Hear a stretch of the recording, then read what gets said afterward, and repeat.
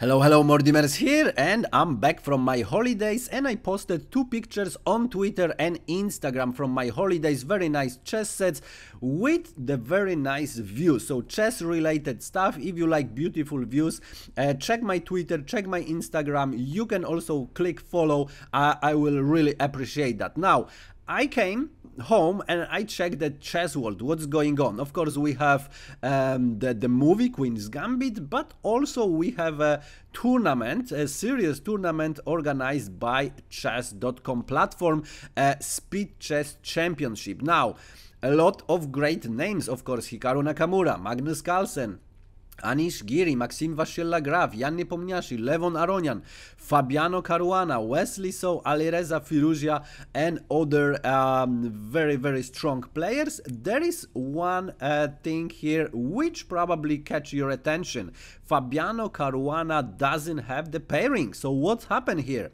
Uh, actually to get to that uh, we have to uh, go to the tournament which was just played and yesterday it's finished Speed Chess Invitational. Now another 16 great games. Look at this.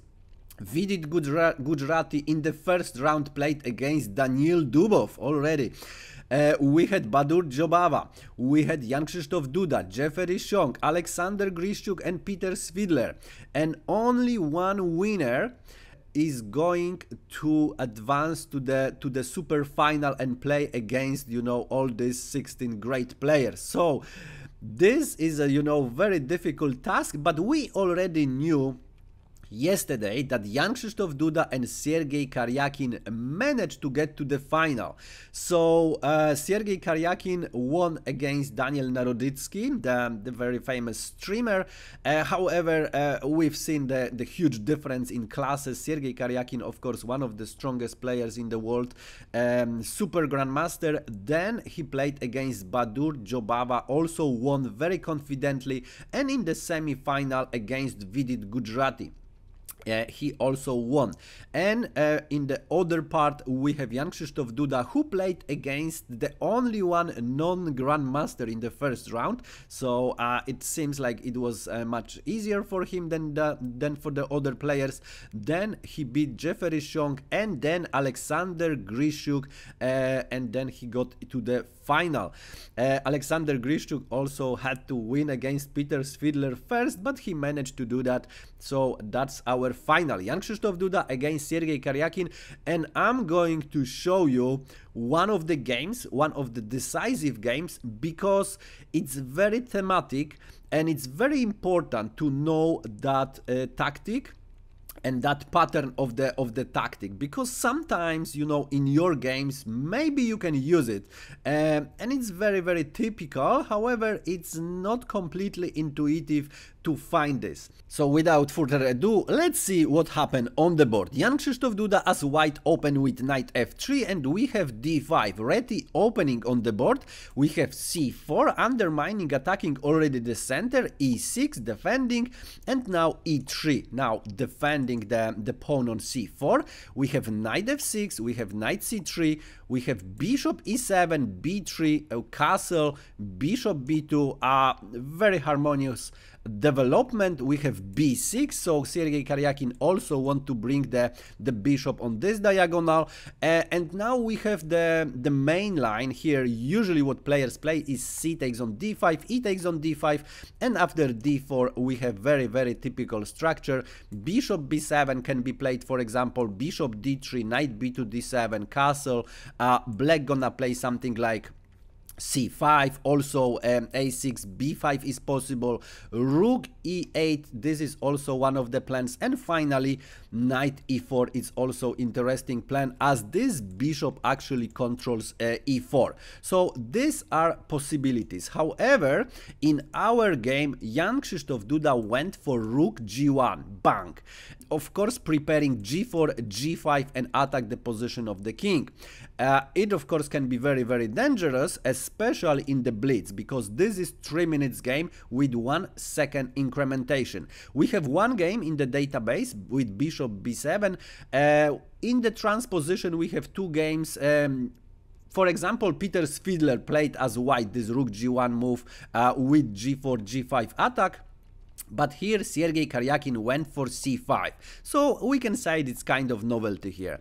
We have g4, knight c6 and now g5 as planned.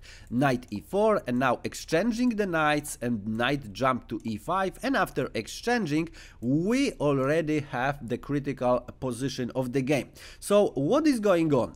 First, this pawn is under attack and it can be taken, but would you take this against the Super Grandmaster? Maybe if you are Super Grandmaster, you could do, Sergey Karjakin is, Jan Krzysztof Duda is as well, but it's pretty much risky, because now White gonna have the semi-open file, so take it or not f6 or f5 is recommended by the engine looks very logical. Let's say f6, g takes on f6, uh, bishop takes on f6, and let's say queen h5. The game can continue, something is going on, uh, but it's not so easy actually to attack the position of the king. Of course, the rook can come to help to defend, um, the queen also can come to, to for example, um, to e7, but at the same time, black in the right moment can have some counterplay. Look at these pawns pawns behind uh, next to the king it's um, they can become very easy targets okay? So that could happen in the game. However we have bishop g5 sergey karjakin says okay show me how you're gonna attack position of my king. Um, show me. I don't see anything here. Jan krzysztof duda went for queen g4 and now look at this position. Can actually white take this bishop it looks like can uh, very easily win the piece, however it's not winning the piece. Uh, actually, in this position, black can play whatever, but don't move this bishop, okay? Queen e7, this move is okay.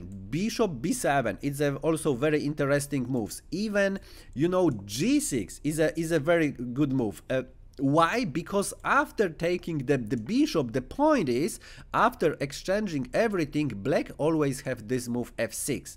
And as you see, position of black is uh, pretty much good. The rook can, for example, move maybe to b4 and black gonna have this triple pawns which looks very very ugly. However at the same time it's not so easy to attack these pawns because if the rook tries to attack this pawn this rook always um, can come to, to f5 to defend uh, and these pawns actually control a lot of squares. Look at this uh, all of these squares are controlled by uh, by by black pawns. And it's not so easy for example to bring these pawns to the game. And they of course can be taken en passant so a lot of calculations and if they stay on d2 and f2 they can be easy target. As i said this uh, semi-open files can be very very dangerous. So this was the way to go. Probably white would just you know pick up the pawn and the game could continue like that with double pawns. Not triple pawns but double pawns.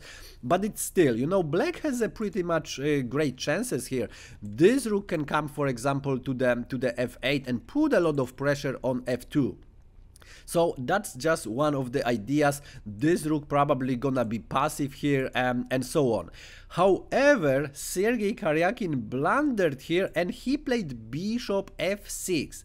It looks like pretty logical move, however, uh, it's not that easy how Sergey thought. And um, it's time to pause the video and find the winning continuation for white while I enjoy my cup of tea.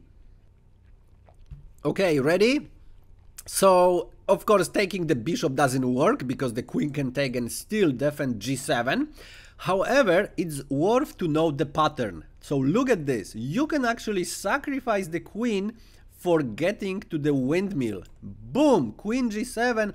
And this is what Jan Krzysztof Duda played. We had the bishop g7, rook g7, and now the favorite tactic of most of the chess players, uh, the windmill uh, infamous windmill, devastating windmill, king h8 is the only move and now rook f7 with discover check. Again there is only one move. Okay the queen also could come to to f6 but of course he's losing. Uh, king g8 rook g7 king h8 And here, Jan Krzysztof Duda could just finish the game with the rook g6. Rook g6 and uh, there is the check, the king cannot move. There is only one way, bring the queen to f6 or the rook and of course both of them are losing. White would win with the, with the extra rook. However, Jan Krzysztof Duda in this position didn't go for rook g6. He played rook a7. I mean, in windmill, when you have all of these pieces, all of these pawns on the second rank, what you want to do is, of course, win them all and enjoy the endgame.